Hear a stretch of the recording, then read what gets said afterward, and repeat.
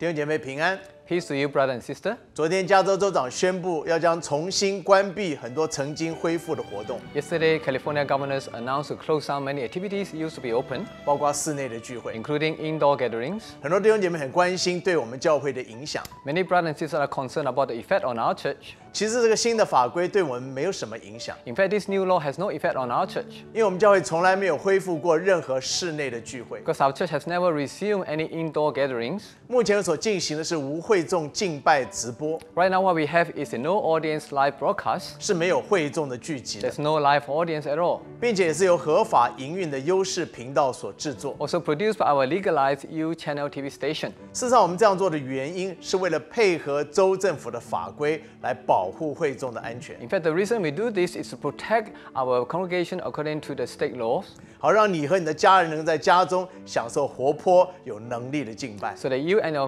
family members can enjoy enjoy a lively and yet powerful worship at home. 在这，我们特别要感谢教会的同工，为我们这些必须回到教会服侍的人所做的准备。We need to give special thanks to our church co-workers to prepare the venue for all of us who must return back to church to work. 从场地事先的消毒。From the、uh, uh, sanitizing our venues 到一进门口的测量体温的机器跟洗手液， and to the temperature control measurement plus the uh, hand sanitizer at the entrance 到舞台上的透明隔板。 and to this transparent barrier on the stage. 事实上，每个乐手无论是弹的、唱的，他们中间都有隔板相隔。 In fact, all those who are involved in worship, whether it's the musicians or our singing um, brother and sister, they have this transparent barrier between them.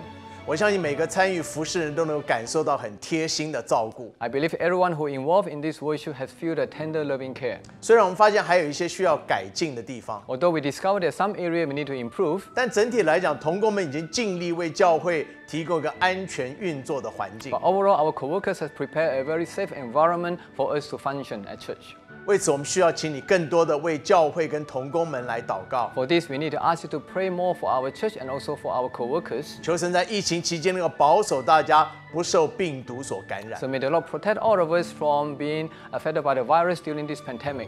不但是要为教会的安全祷告，Not only we need to pray for the safety of the church，我们更是要为美国来求怜悯。We need to ask God to have mercy upon America。在疫情持续扩大的时刻，So as this virus continue to expand。一方面我们要继续求神使疫苗早日发展成功 on, on, on one hand, we need to ask God to help us to discover this uh, vaccine quickly 好真正遏止病毒的蔓延。 so that we can truly stop the spreading of this virus. 另一方面，要求神在各级首长之间赐下团结合作的精神， On the other hand, we need to ask God to send this uh, unity and also cooperation among the head of states 才能够真正制定出有效的防疫措 and 施 so,。so that they can set and decide on the truly effective precautionary measure.